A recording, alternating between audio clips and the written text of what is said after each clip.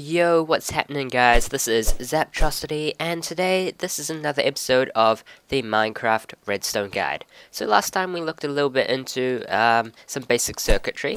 For example, we looked at this very simple torch tower right here to vertically transmit power. So we flip this lever, and as you can see, we can see the door closes. Now, but as you can see, there's a little bit of delay, so we flip the lever, and probably about like a second or so of delay right there. So why has this happened?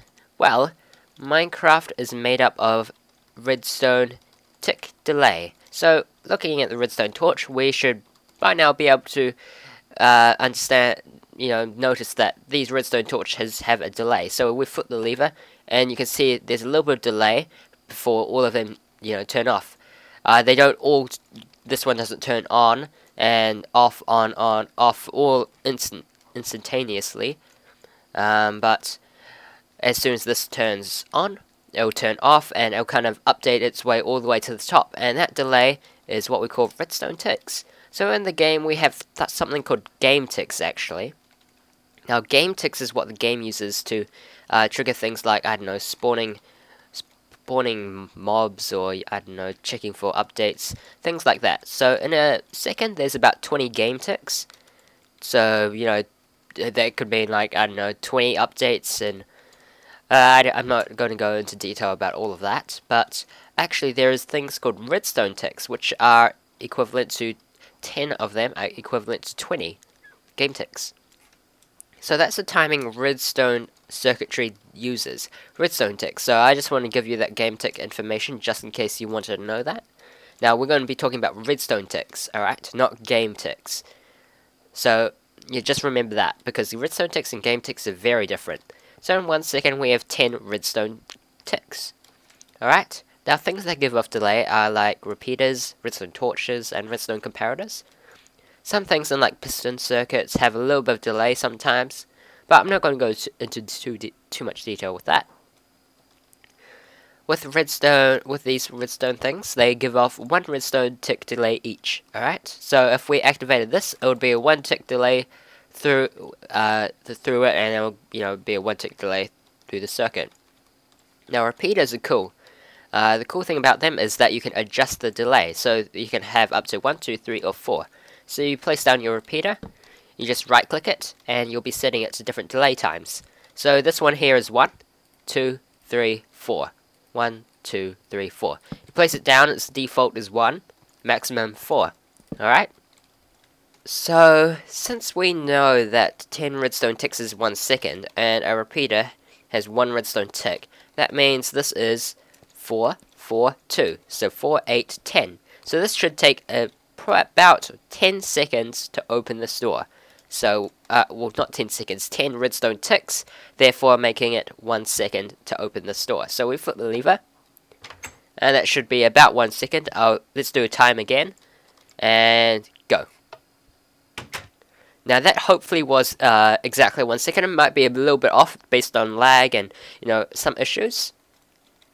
So that is you know pretty cool. That's how you can make delay. So if you want things to trigger in order. Now redstone torches are the same along with the repeaters and comparators. So here we have 10 redstone torches. 1, 2, 3, 4, 5, 6, 7, 8, 9, 10.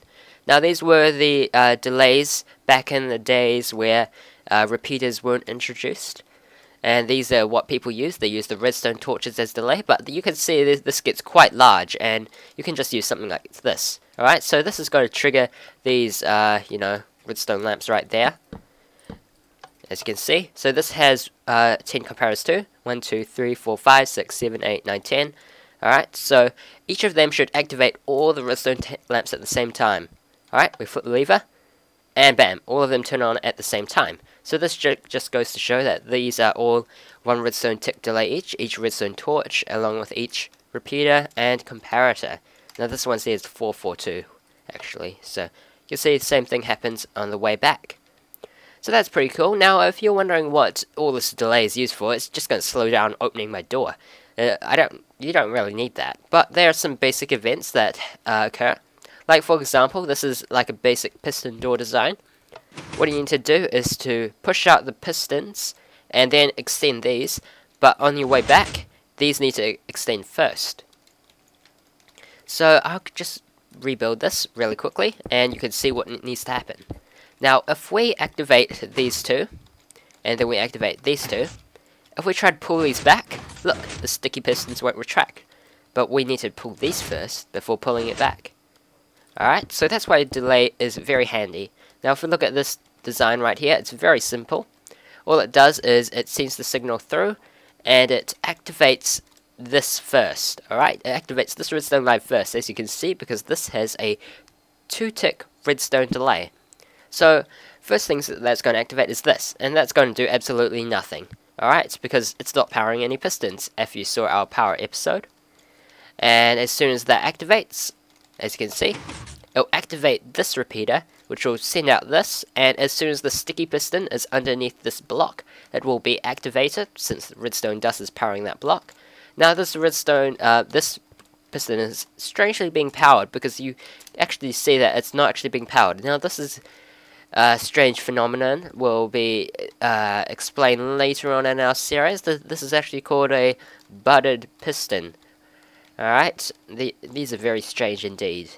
Alright, now, as soon as it turns off, what's going to happen is the first thing to turn off would be this, because this has a 2 redstone tick delay.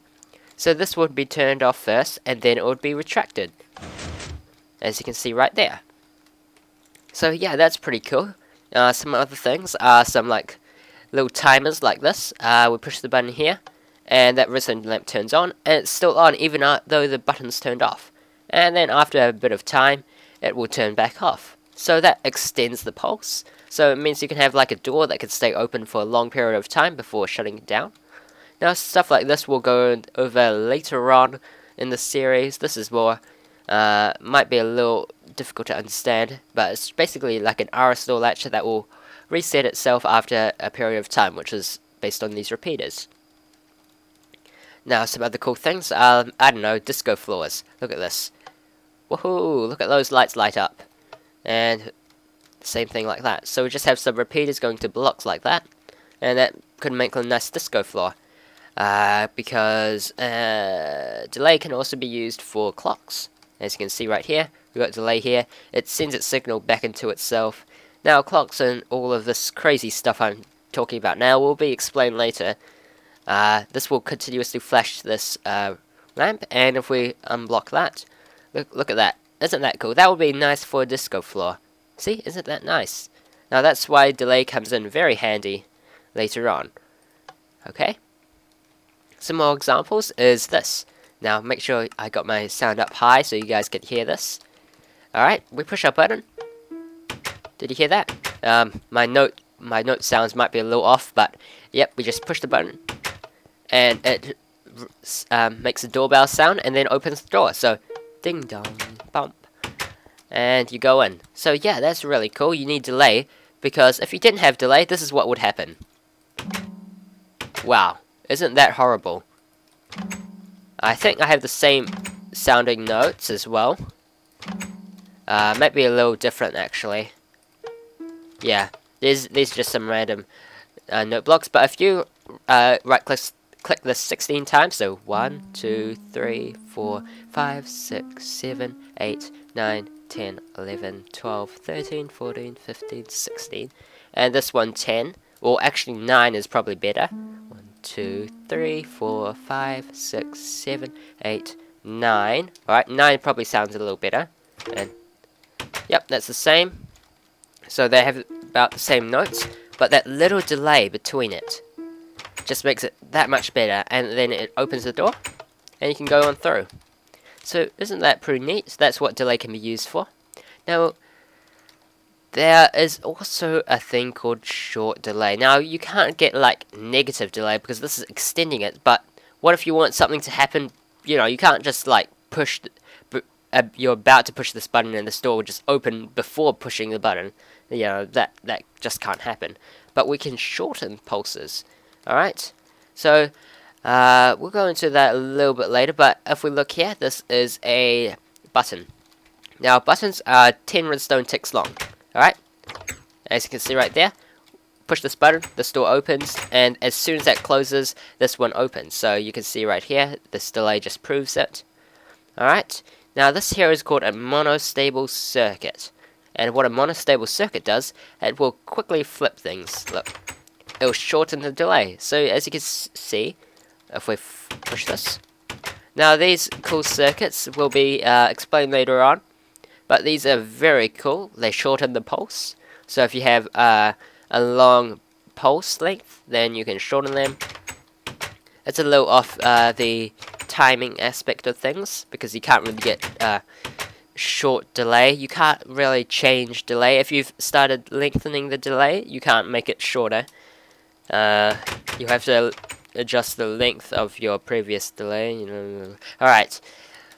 Now, yeah. So that's what the monostable circuit does. look at the store.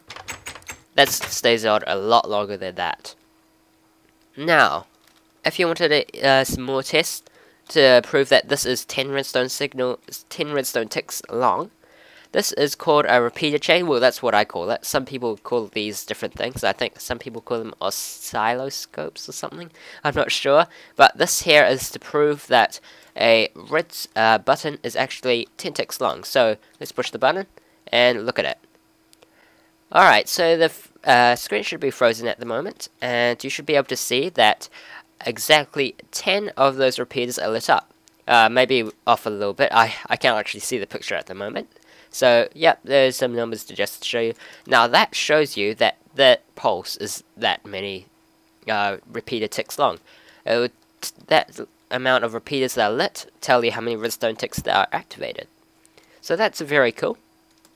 Now, if we come over here, I have a monostable circuit, and now we can see how quick the short pulse is. So we push the button, go into a bit of delay, and as you can see right there, with the pause screen, there was two, only two redstone uh, repeaters activated. That means the signal length is two redstone ticks long.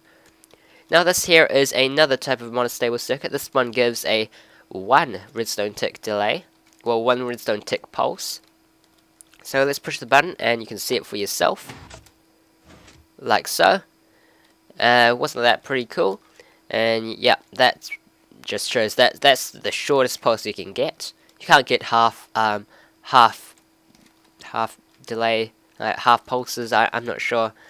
Alright, so wooden buttons are also a lot different. They have a very long signal strength. They have about 1.5 seconds long, so about 15, 15 redstone ticks. I, I, I I'm not sure.